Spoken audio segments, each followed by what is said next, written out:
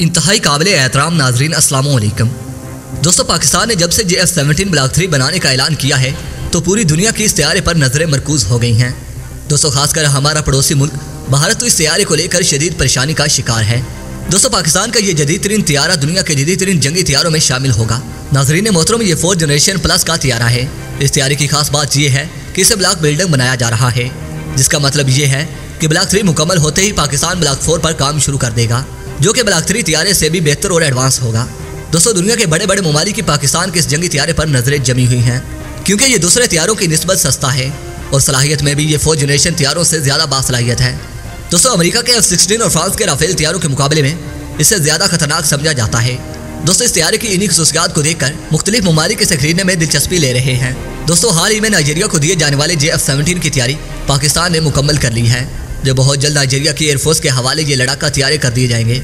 नाजरीन, इसके अलावा ये खबरें भी आ रही हैं कि मलेशिया भी पाकिस्तान से जे एफ़ सेवनटीन खरीदने के लिए लाइन में लग गया है।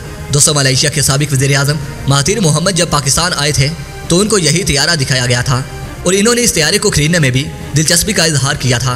और अब ये खबरें सामने आ रही हैं कि मलेशिया की फजाइया पाकिस्तान से ये तैयारा खरीदने जा रही है।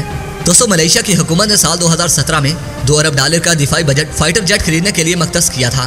और बाद में इस बजट को होल्ड पर रख दिया गया था। और अभी तक मलेशिया ने ये तैयारे नहीं खरीदे हैं। दोस्तों, मलेशिया इस वक्त रूस के एस यू थर्टी और बरतानिया के हक तैयारे इस्तेमाल कर रहा है। लेकिन मलेशिया अब नए जदीद तैयारे खरीदना चाहता है, जिनमें सबसे ऊपर जे एफ़ सेवनटीन का नाम आता है। नाजरीन, मोहतरम, इसके अलावा अजरबैजान भी पाकिस्तान से ये तैयारे खरीदने में दिलचस्पी दिखा रहा है।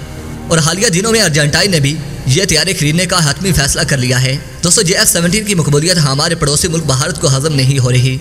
जिसकी बदौलत वो नित नए प्रापोगंडे इस तैयारी के खिलाफ कर रहा है। दोस्तों, वीडियो पसंद आने की सूरत में वीडियो को लाइक कीजिए, दोस्तों से शेयर कीजिए और कमेंट सेक्शन में पाक हुई जिंदाबाद, पाक आर्मी पाइंदाबाद और अपने गुमनाम हीरोज का नाम नारा ज़रूर कमेंट कीजिएगा। नाजरीन, इसके साथ इजाज़त चाहूँगा। अपने और अपने प्यारों का ढेर सारा ख्याल रखिए। अल्लाह निगेबान।